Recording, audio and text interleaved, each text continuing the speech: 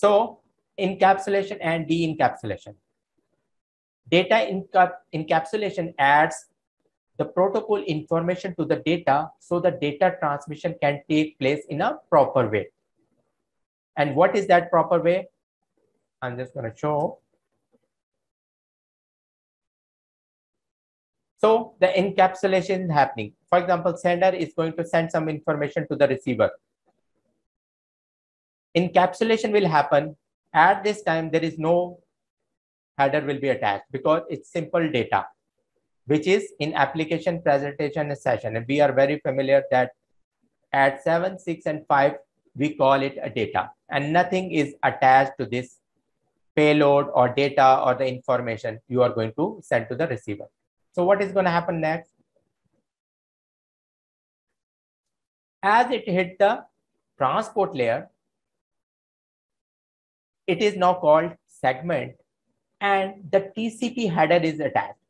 Why? So it will know about the TCP because we are going to the transport layer.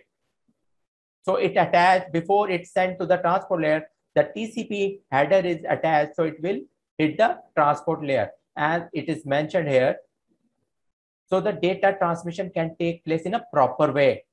Means I do not want from my session layer to go all the way to the network layer. No, I do not want like this. I want in a proper fashion.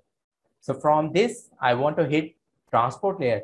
So that's why I added this TCP header. And this is, and this uh, procedure is called encapsulation. So the next.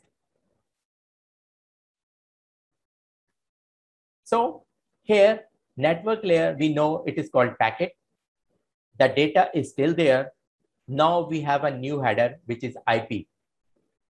That is correlate with the network layer.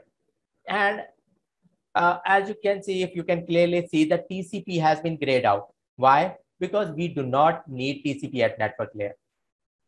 It has to do with transport layer. So the next level, Now this thing is called frame. The data is still there.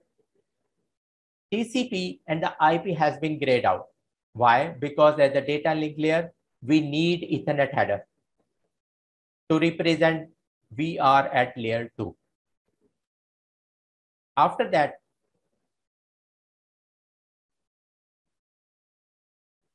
data will be sent across the physical layer which is nothing but the cables. And as you can see, 101010, which is bits and bytes. So our data is going to transfer into bits and bytes. Basically, one is positive and zero is negative. So this is how computer understand the language of bits and bytes.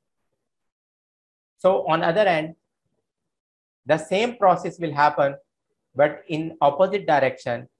And this header information is going to removed or stripped off. This is called de-encapsulation.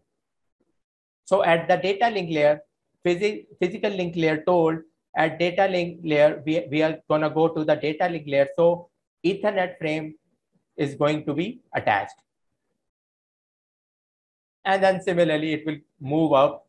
As you can see, now the IP is added because we are at network layer the TCP is added. It was already added, but now it is de-encapsulating because whatever we receive from here, it is, it is going to de-encapsulate here for the end-to-end -end proper uh, conversation.